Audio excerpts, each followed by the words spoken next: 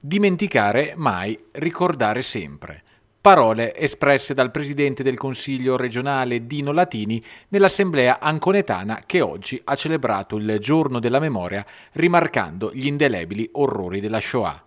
In aula sono intervenuti tra gli altri il presidente della comunità ebraica di Ancone Emanuela Russi e il direttore dell'ufficio scolastico regionale Ugo Filisetti memoria ma anche promozione di iniziative storico-culturali, come la proposta del consigliere Giacomo Rossi, approvata all'unanimità, che intende legare in un unico filo conduttore l'itinerario ebraico delle Marche. In occasione della giornata della memoria abbiamo anche discusso la mia mozione che chiede alla Giunta di istituire eh, l'itinerario ebraico marchigiano, eh, una mozione che è stata sottoscritta da tutti i capigruppi in Consiglio ed è stata votata all'unanimità. Eh, questa mozione chiede appunto l'istituzione di questo itinerario che vuol mettere insieme e raccogliere, raccogliere appunto in un itinerario turistico tutti quei siti di interesse storico, artistico e culturale del mondo ebraico sparsi nella nostra regione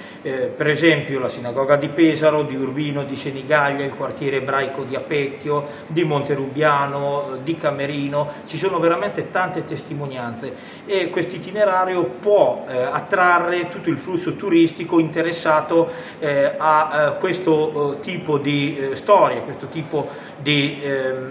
di, di beni culturali. Ehm, tra l'altro questa vuole essere anche una proposta del ricordo perché con questo itinerario itinerario si andranno anche a scoprire le tante storie di persecuzioni che hanno eh, subito eh, gli ebrei eh, marchigiani nel corso dei secoli. Quindi oltre che una proposta concreta vuole essere anche una proposta finalizzata alla memoria.